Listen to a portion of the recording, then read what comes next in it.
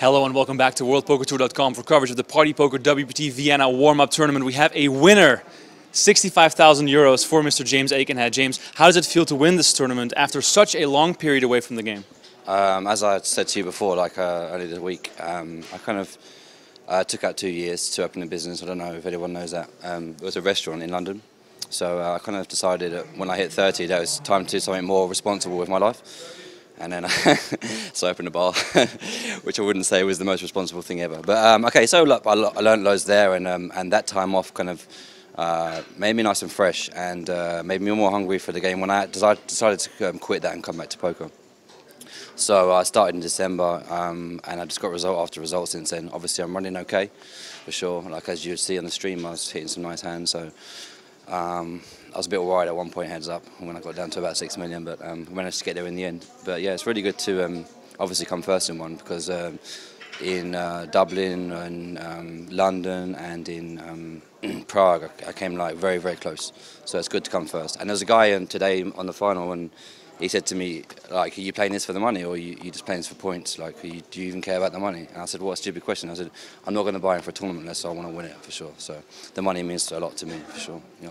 It was an amazing final today. Uh, did you feel any sort of extra pressure knowing you are the most experienced player left in this tournament? And, you know, with the sizable chip stack you had coming into today, there must have been some expectations.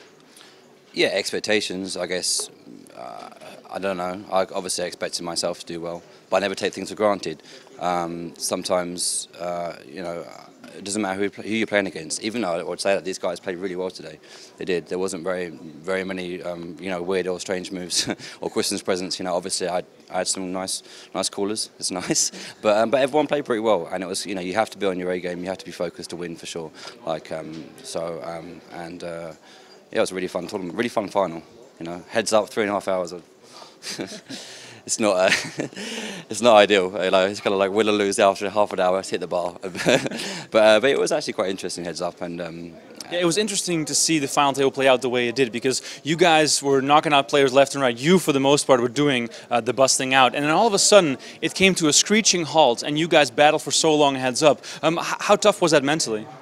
Uh, it's been it's been a long tournament. So and then after when I finished in the evenings, I was playing a bit of cash games. So my sleep is.